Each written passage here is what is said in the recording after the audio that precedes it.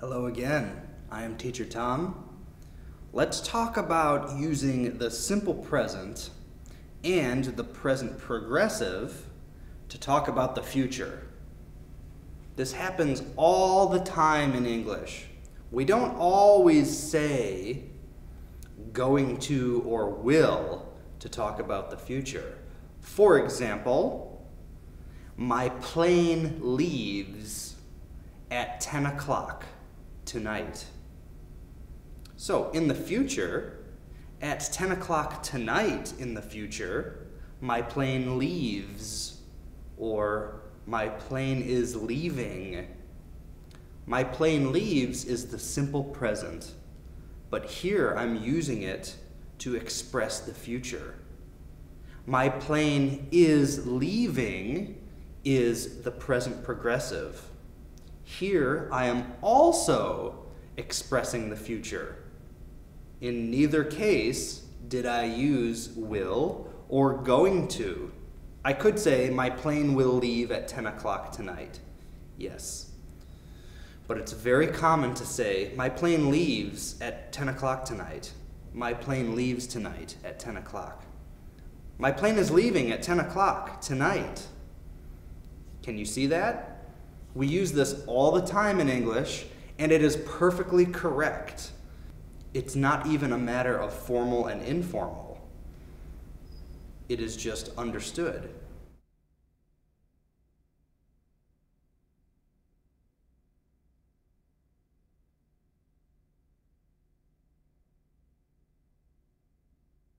Usually, when we use the simple present or present progressive to express the future, we also have a word in there that is a future word, such as tomorrow, or tomorrow night, or next month.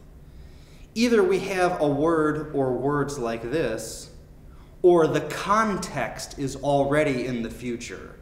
For example, my plane leaves tomorrow. Tomorrow is the future word or if the context of the conversation or situation is already talking about the future, here's when we can use certain verbs in the simple present or present progressive to express the future. Now, it's not all verbs that can do this. Actually, only a few verbs. Let's look at some.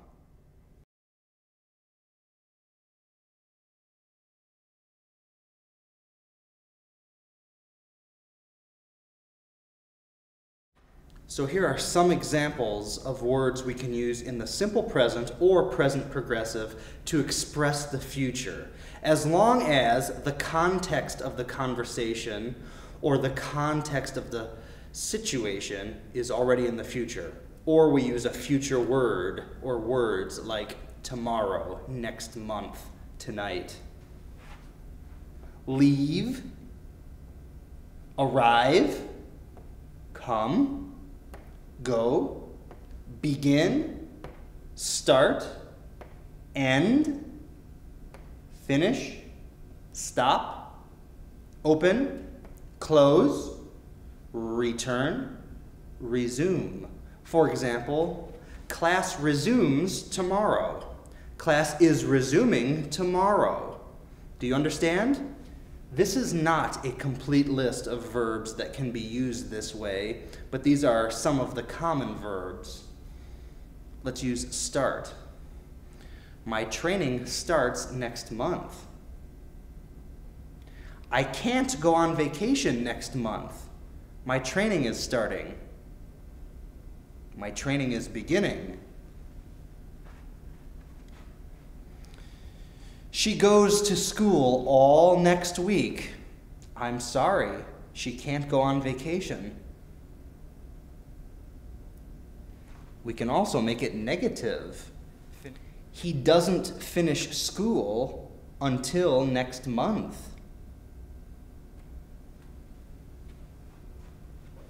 The store opens next year. The store is opening next year.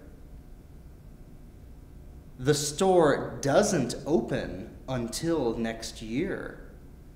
The store is not opening until next year.